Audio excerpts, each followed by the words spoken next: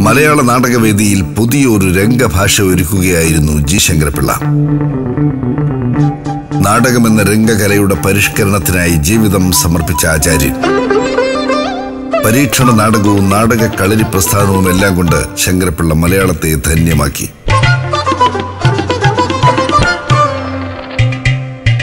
സ്മൃതി ഞായറാഴ്ച രാത്രി എട്ട് മുപ്പതിന്.